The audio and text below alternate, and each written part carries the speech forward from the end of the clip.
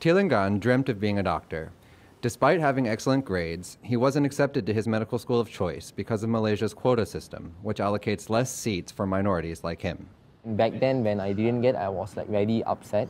Basically, they already like allocated like okay for for uh, for Indians there are this amount of seats that should be given. For Chinese, there should be this amount of seats be given, and also for Malays, this amount of seats should be given. Since there are a lot of competition for that seat, so I have to like really outperform from the others to actually get into that seat. By global anti discrimination standards, Malaysia's law protecting its historically ethnic majority is unusual. Instead of helping minorities, its affirmative action system is a major disadvantage for them. Tilangan's best friend is one of few Muslims who dare to criticize the privilege he enjoys being in the ethnic majority. Yeah, it's unfair. The system is wrong today because some people are taking it for granted we can't really change the system even if we want to. I don't think the system actually affects our friendships. Friendships should just remain the same. Since gaining independence from Great Britain in 1957, Malaysians were promised equality. Malay Muslims, who represent nearly 70% of the population, coexist side by side with descendants of Indian and Chinese migrants sent to work in Malaysia by British colonists.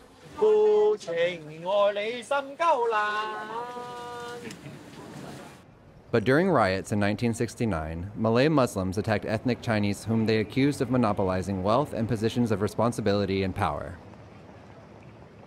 To ease the tensions, the government passed a series of affirmative action laws, which are still in place today, to ensure the Muslim majority would be guaranteed employment, access to education, and positions in civil service. This director made a documentary about the topic, telling the story of Indians across the country. The Malays have their own rights, and we have no right to question their rights. It's a very sensitive issue.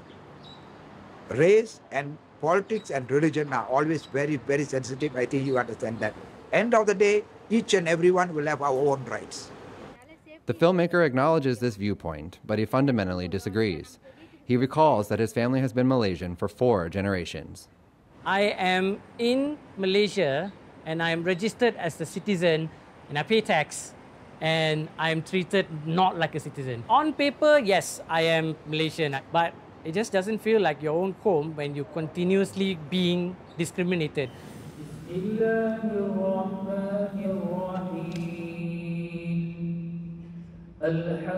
We asked Malay Muslims about the legal privileges granted to them being in the majority. In the Malaysian constitution, they have a special for the Malay. Why?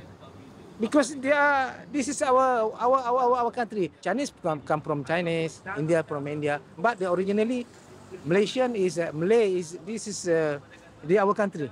People here just follow what the government said. Okay. Okay. Enough, enough. The subject is taboo.